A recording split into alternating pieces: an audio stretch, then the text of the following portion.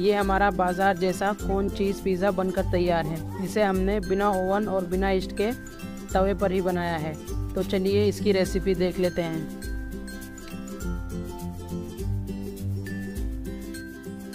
तो सबसे पहले हम पिज़्ज़ा बेस बनाने की तैयारी करते हैं। एक बाउल के अंदर हम मैदा लेंगे। और उसके अंदर हम बेकिंग सोडा ऐड करेंगे। और बेकिंग सोडा की डबल क्वांटिटी में हम बेकिंग पाउडर ऐड करेंगे। इसके बाद हम इसमें ओरिगेनो ब्लैक पेपर पाउडर नमक और शुगर ऐड करेंगे। इसके बाद हम इसके अंदर दही ऐड करेंगे।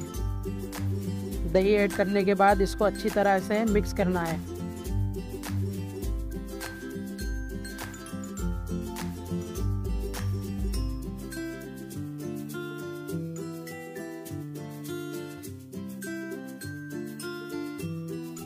दही अच्छी तरह मिक्स होने के बाद हम इसके अंदर थोड़ा थोड़ा पानी डालकर इसको अच्छी तरह से गूंद लेंगे और एक सॉफ्ट डो बना लेंगे।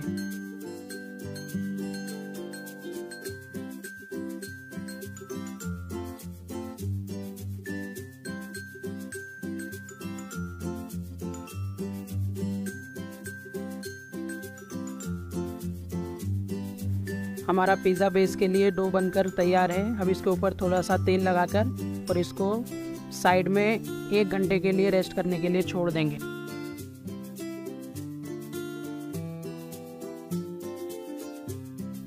हमारे डो को रेस्ट करते हुए एक घंटा हो चुका है। अब हम अपने तवे के हिसाब से जितना बड़ा हमारा तवा होगा, उसके हिसाब से इसका पिज़्ज़ा बेस बना लेंगे। मैं इसको हाथ से ही बेल, हाथ से ही बना रहा हूँ। आप चाहो तो उसको बेलन की मदद से बेल कर बना सकते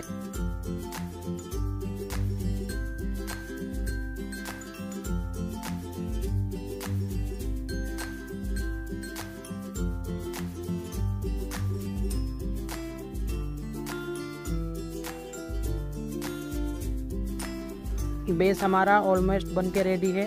अब हम इसके अंदर फूक की मदद से होल्स करेंगे इससे बेक करते टाइम फूलेगा नहीं। तवा पिज़्ज़ा बनाने के लिए आपके पास मोटे तले वाला तवा होना बहुत ज़रूरी है, नहीं तो आपका पिज़्ज़ा जल सकता है। इसलिए मैं आपको रिकमेंड करूँगा ये द इंडूज वैली ब्रांड का multipurpose cast iron pre season तवा। ये नेचुरली नॉन स्टिक है, बिना किसी केमिकल कोटिंग के, और ये टॉक्सिन फ्री है। द वैली ब्रांड ये 100% परसेंट हेल्थी कुकवेयर बनाते हैं। इनके प्रोडक्ट परचेस करने के लिए डिस्क्रिप्शन बॉक्स चेक करें। तो चलिए अपने पिज़्ज़ा बेस की तरफ़ चलते हैं।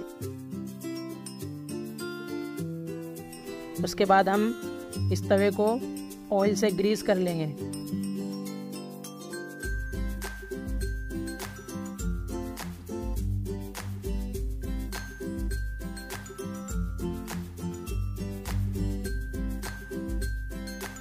ग्रीस करने के बाद अपना पिज़्ज़ा बेस तवे के अंदर रख देंगे और अच्छी तरह से साइज़ एडजस्ट कर लेंगे इसका।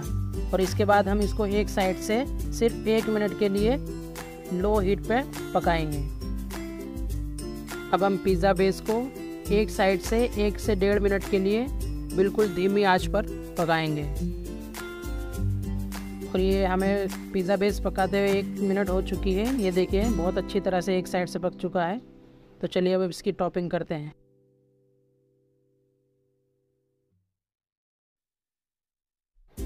पिज़्ज़ा बेस हमारा बन के बिल्कुल रेडी है। ये देखिए कितना अच्छा कलर आया है। अब हम इसकी टॉपिंग करते हैं। सबसे पहले हम इसके ऊपर पिज़्ज़ा सॉस लगाएँगे।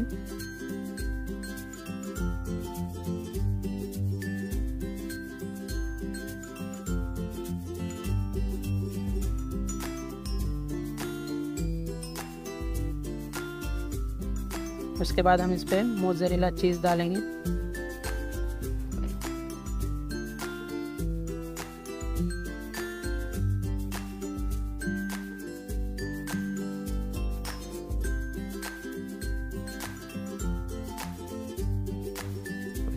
उसके बाद हम इस पर स्वीट कॉर्न डालेंगे।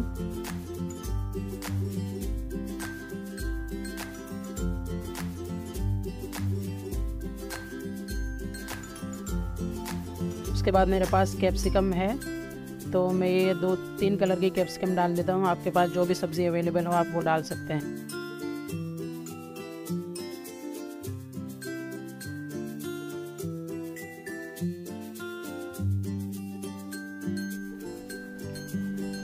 कैप्सिकम के बाद हम इसके अंदर और थोड़ा सा मोजरेला चीज़ डालेंगे। और अब ये बिल्कुल रेडी है बेक होने के लिए। तो चलिए हम इसको अपने तवे के अंदर ट्रांसफ़र करते हैं।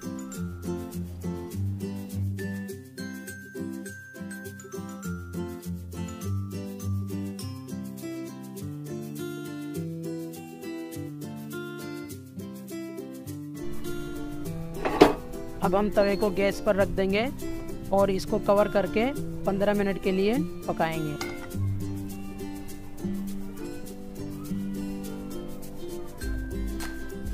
पिज़्ज़ा को पकते हुए 15 मिनट हो चुकी है।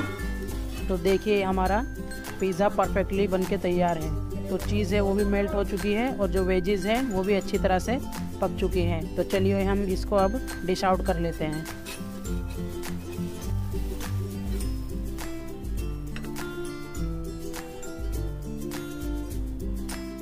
तो फाइनली ये है हमारा तवे पर बना हुआ चीज़ कॉर्न पिज़्ज़ा अब इसको ओरिगेनो से सीज़न करेंगे और इसको कट करके सर्व करेंगे। अगर आपको ये वीडियो अच्छी लगी हो तो वीडियो को लाइक करें चैनल को सब्सक्राइब करें और इंडूज़ वैली के प्रोडक्ट परचेज़ करने के लिए डिस्क्रिप्शन बॉक्स में लिंक है, उनकी वेबसाइट पर विज़िट करें।